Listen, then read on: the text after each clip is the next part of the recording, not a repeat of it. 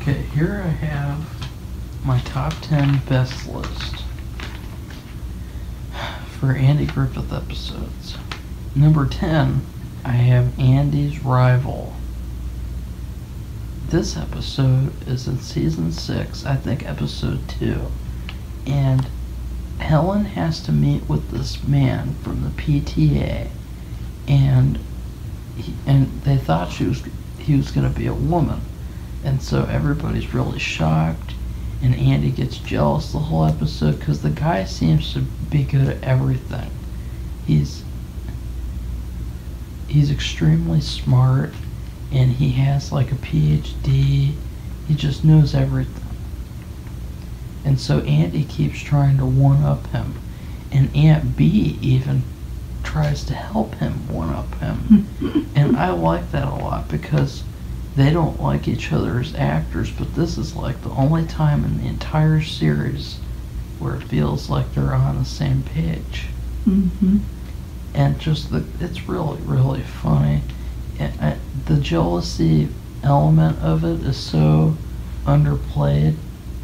I mean, it's all about the comedy. It's not about the drama type crap like with the, oh, Barney looked at this girl, so that means we're going to spend a whole episode complaining about it.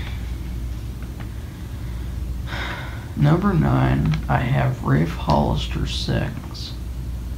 And I like all the singing episodes except for the Darling ones. And, oh yeah, I'm also surprised you didn't put that Darlings episode on your best list where Barney dresses up as a bride. Well, but I mentioned that there are other episodes where Barney dresses up. This is one that probably a lot of people won't mention. It's just funny when you see these heavy duty Eastern um, mafia uh, criminal types, and and there's Barney. He's got this dress on and a wig, and doesn't he wear a wig? Yeah. And you know, and talking like a woman, and it's just hilarious because of them and how completely out of the elements they are. So Rafe Hollister sings, uh, Ra- Rafe Hollister comes into town and signs up for a singing competition. He's really good. The only problem is, is that the mayor doesn't approve of his look, and th- and basically thinks he's a lower human being.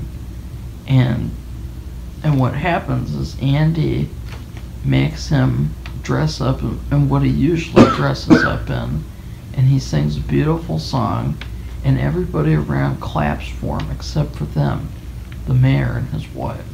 And then everybody, I mean, they have him do an encore too. Mm-hmm. And all throughout that, you have Barney being jealous because he's he's a terrible singer, but he he's really jealous, and it's funny. Number eight, Goober and the Art of Love. This episode is fantastic. Andy and Helen and Barney and Thelma Lou are mad that Goober is, is the third wheel. I mean, they go to see a movie, Goober's got to see it with them too. And so they decide to get him a girlfriend. And they get him uh, what who I should call the devil, Lydia. Mm. And she is just, I mean, she doesn't like anything. She can't do anything. She's hilarious. And, and I mean, Barney has Goober spy and, and peep on Andy and Helen watching a TV show together to, to show how he should interact with Lydia. And it's just, it's phenomenal. The only thing I don't like is that I think they go a little bit too far with Lydia's character Mm-hmm. because I think that, uh, you know, I mean, what does she even do? I don't know. I, I, don't, I actually don't remember. I don't remember them saying what she did. I, I mean, they don't, they you don't mean like tell real you. life? Not real life, but like as a job, a profession? Well, that, but also just her interest. She doesn't have any interests. Uh,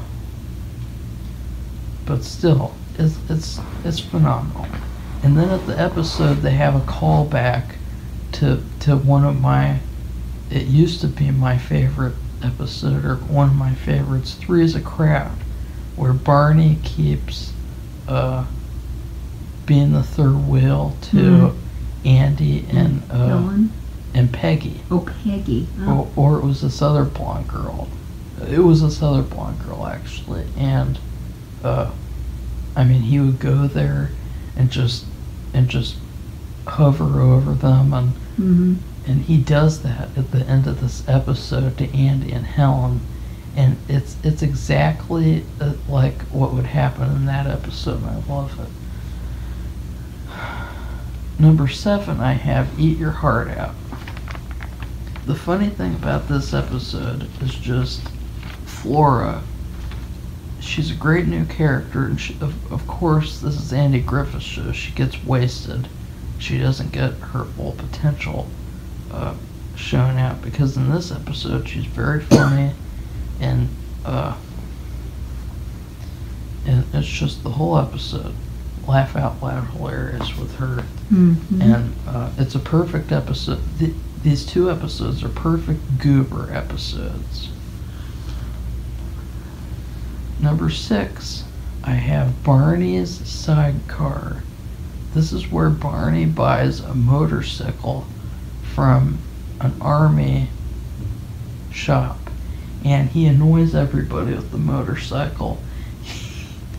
he wear, he wears a helmet and and these goggles that makes him look like a bug, and he he he tries to say different words while he's riding the motorcycle, and uh, uh, he disguises himself, and he he runs trucks out of town, and it's just it's hilarious. Uh, so now we're getting into the best episodes not just the the greatest. Number five, Andy and the Woman Speeder. I think that this is the only serious episode I have on this list. And it's a perfect episode to show somebody who's never seen Andy Griffith before. It's all about this woman who speeds through town and then gets a ticket and she refuses to pay it and then she bribes everybody in the entire town with favors and makes it so she doesn't even have to pay her ticket. And what happens is Andy gives her this long speech at the end about how she made a fool out of Justice and she made a fool out of him and everybody else in the town. And so she changes her mind and, and pays the ticket. Anyways. And learns a valuable lesson. Well, it's it's a serious episode. It it showcases what the town's all about, and it's just really good. Number four, I have the bank job. This episode has always been a classic. It's another one where Barney dresses up as a girl, and it has the best line in the entire series when Barney comes out of the the saloon and he he takes off the dress in front of this guy and he's like what's the matter? Haven't you ever seen a man take off a dress before? And so it has the funniest line in history and I, I could watch it over and over again. Hmm. number three the rivals. This episode opie has trouble trying to get sharon to like him so Thelma Lou helps build up his confidence, and Opie falls in love with Thelma Lou. So Opie Opie cucks Barney out of Thelma Lou, and uh, and and that's the whole episode. And and it's ju- it, this was the first episode I ever watched the show too. So it's everything about it, and the ending is good. He he finally gets a date with Sharon because he actually made her jealous, and uh, it's weird though because you'd think that Barney might tell Opie to try to make her jealous, because he does that all the time to Thelma Lou. Mm-hmm. So, number two, I have the pickle story. Hmm. Safi already talked about this one. It's it's funny all all the way through. Mm-hmm. It's really a perfect episode. It's not as not as perfect as Dinner at Eight. Dinner at Eight is my number one, and I know what you're thinking. A season seven episode is my number one Andy Griffith Show episode. It's hard to believe it was season seven. That's just outrageous. Well, the number one good thing about this episode is Aunt Bee leaves because she leaves the town to go on a vacation. Mm-hmm. And number two, you have all the characters in the show like appearing. And so what happens is Andy has dinner with Goober, he has spaghetti, and then he goes over to Howard's house and has spaghetti. Then he goes over to Helen's house and has spaghetti. Okay. And he's basically roped into eating everything because Opie repeated a quote that he said to him Mm. early in the morning that you shouldn't waste food because it be, it could be going somewhere else, which true. And uh, because it's there, and it's there already, and so the whole episode it just built the comedy builds and builds and builds and builds. So that's my top ten. What do you think? Well, I'm just thinking, this is an episode where Andy has to eat spaghetti. Oh God! Five times, Oh five my God! five platefuls. And he would have irped, He had three helpings at his house. He had two helpings at Howard's house because they forced him to eat the entire thing. Then at Helen's house, he had one helping. So, That's oh right. wait, no, that would be six. Three plus two plus one, six. Yeah. So, uh, just thinking back, it Ugh. gives me a stomach ache. And- then he, But then when and what, what's really funny is when uh, Aunt Bee comes home, she says, "You know, I've been gone. I know you want a nice hot meal, so I'm going to make you some spaghetti." yeah, I guess another funny thing because but this is a long Goober. time ago. No, no. The funny thing, this was a long time ago, and um, I don't think there were at this point there weren't a lot of cooking shows on. There might have been something on PBS. But you know, there wasn't Pinterest and looking up on the internet. You had to find a recipe book. But anyway, the secret ingredient to every Uh-huh, yeah. single spaghetti Recipe. was oregano. And I'm like, you know, I learned how to make spaghetti a million years ago, and nobody talked about that oregano was some. There was something secret about it. That was just one of the ingredients, but they acted like it was something really rare. And I, I, I even though Well- people didn't make, I don't think a lot of people ate spaghetti unless they were an Italian immigrant family. I, I don't. As I said, the comedy builds. Yeah, the comedy bill. There's payoffs. That whole oregano thing, he learns from Goober, there's oregano in there. He learns from Howard, there's oregano in there. And then here's the pay. No, here no, here's the payoff. The uncle says he got the recipe from a chef in New York and it took him all night to get it out of him. And then Andy guesses it right out before he even tells him. And and the uncle's like, "Wait a second, how do you know?" And hmm. that, that's what you call a payoff. So, you have any comments about my list? No, but I think it's interesting that you agreed with me on a few of the episodes. I mean, on the negative ones, I don't think we're our lists were in agreement at No, all. we didn't have I mean, you might have made a comment or two, and maybe I did, but which we is did very not have- weird.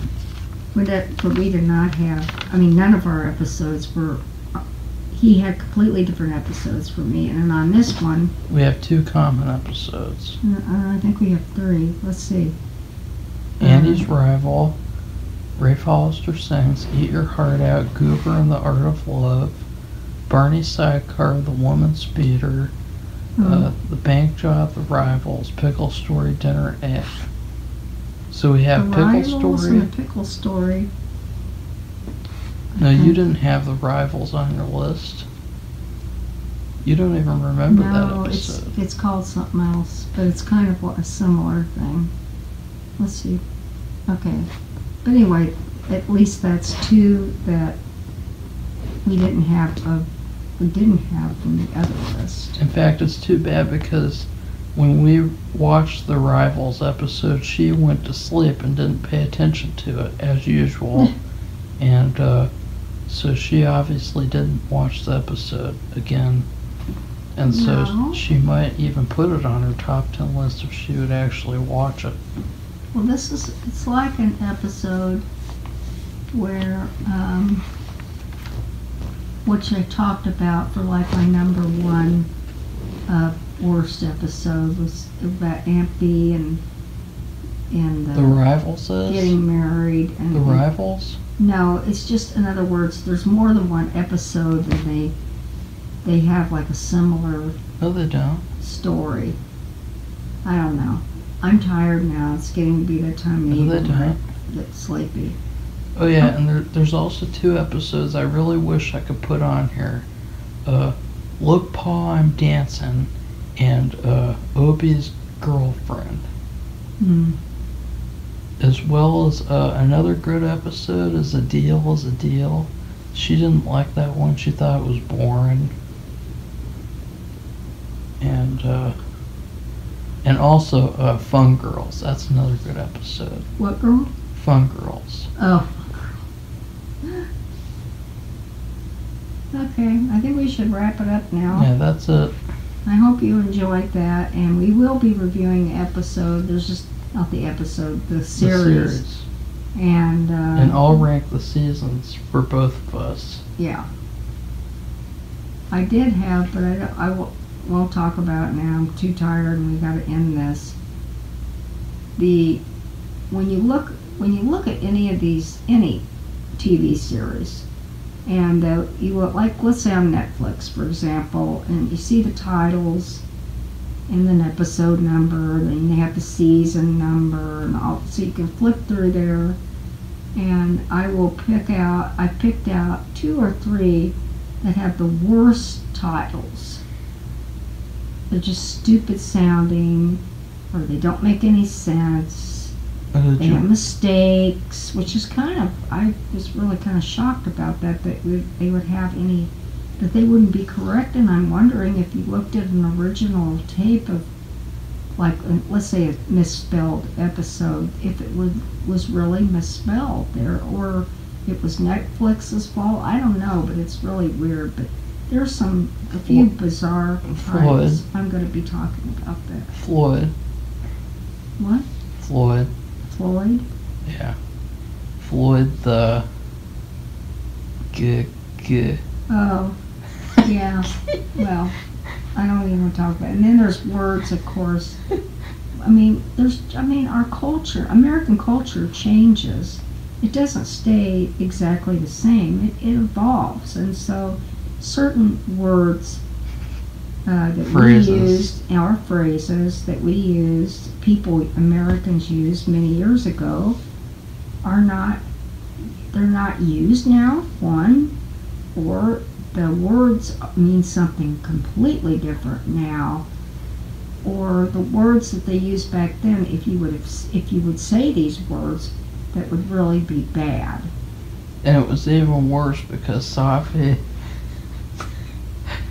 Safi accidentally called one of them something completely different than what it was, and it made it even worse.